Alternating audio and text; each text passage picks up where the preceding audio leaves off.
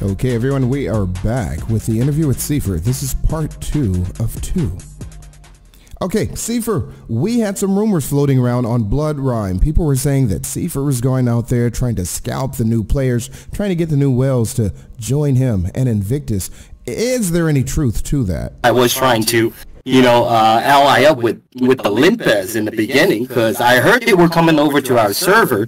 Uh, even though I, I, I, also heard that they were uh, coming to uh, to join three or III. Okay, so all right, so you were trying to recruit the Limpez. Now here's the thing: if it's so bad that three got the Limpez, what would be better with your Invictus getting the Limpe group? The Limpez, you know, if they would have chosen to to to ally up with them, that there would be a competition towards three. Okay, so that makes it sounds a little bit different. So you were reaching out to the new Whales in order to create some kind of balance of power against the Whales that are already on the server. It doesn't, you know, it doesn't do anybody harm by just trying to ask if they would ally up with you know my clan Invictus. Okay, so I guess that does clear it up for some people. I hope.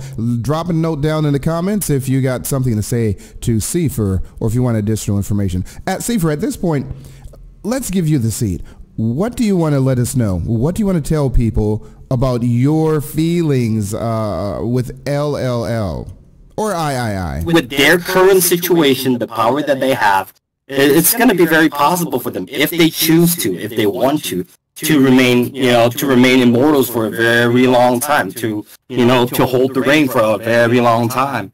Um, you know, which, which, you know, uh, that's, that's, that's for them to, to decide. Which is a little bit unfortunate, though. Well, fortunately, this last reign, as we just saw, the LLL group did voluntarily step down and let new groups come in to be immortals. All right, let's get back. Okay, I have a list of things that people were interested in. Rumor, Seifer, you were trying to make people server transfer. What do you say about that one? They just wanted to switch to another server so that, you know, so that there would be more balance in the game. Because they felt, you know, they didn't, they, did, they just didn't like the fact that that one clan rules the whole server. And that was what started people, you know, considering about transferring servers. Okay, so you're saying you had nothing to do with motivating people to move to other servers. And you, I mean, because from what I heard, your entire clan was supposed to move to another server. Uh, me, myself, and even my clan, we, we, we had the thought, we had the thoughts of it, of, you know, like, hey, let's transfer another server, you know, maybe it will be more balanced, it will be more fun. Still plenty of fun to be had here on Blood Rhyme. Uh, but as a relief to you and the other people, we just saw recently Rosaline uh, split off from the Limpe group, was split off from Fatal Paladin. All the whales have separate clans, and they're recruiting people openly in World Chat at times. Um, what are your plans going forward on Blood Rhyme? Well, what are my plans? Well, that's a good question because I'm just I'm just chilling, to be honest. You know. Yeah, yeah, nothing wrong with a little bit of chilling. Our server does seem to be one of the popular servers. Well, we can talk about the popularity. I think this uh, the Blood Rhyme server has a pretty good popularity, although I wouldn't say it is the most busiest. For example, Blood Raven.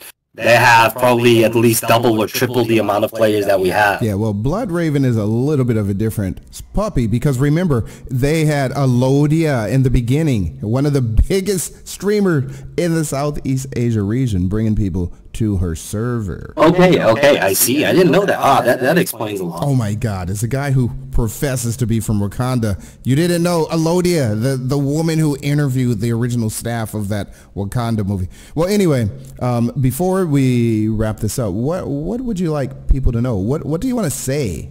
Go ahead. If people want to know or any proof about the truth, they can always, you know, send me a message. I have, you know, plenty of screenshots and stuff, but again, there's no need to prove myself of you know accusations that were not truth uh, at the in the first place. Most of the things that I wanted to say, I already said. I meant no harm or you know any you know any bad things about anybody or anyone. Just want everybody in this in this whole server to have fun, respect each other.